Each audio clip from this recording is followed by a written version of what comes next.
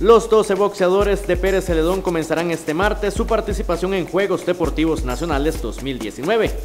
Se basa, lo estoy diciendo a los muchachos que, se, que basamos a los golpes que vamos a tirar allá, bastante yaco, bastantes rectas de derecha, upper y todo eso, más que todo para que ellos vayan practicando, porque a veces hay, hay, boxeadores que van a Juegos Nacionales y hay muchos que por esta época cuesta mucho que lleguen al entrenamiento, en todos lados, porque vienen los exámenes, los que están estudiando tienen que ir a los exámenes, estudiar y todo, y a veces, a veces falta mucho. Pero yo tengo la fe, la fe en Dios, como le digo, y la confianza en los muchachos que ellos van a dar todo lo posible por traerse una miñadita de oro. El entrenador dejó claro que en estos procesos es complicado analizar los rivales. Si pasan del primer round, tal vez lo puede analizar uno, que tiene más rectas, tiene más esto, pero no vea cómo cuesta, porque digamos, son tres minutos,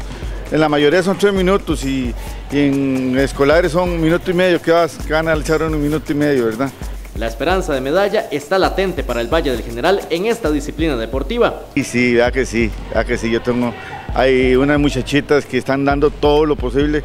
y hay, hay muchachitas que yo, que yo pienso que, que hasta en la selección pueden estar. El boxeo será en la Villa Olímpica en Desamparados del 9 al 13 de julio.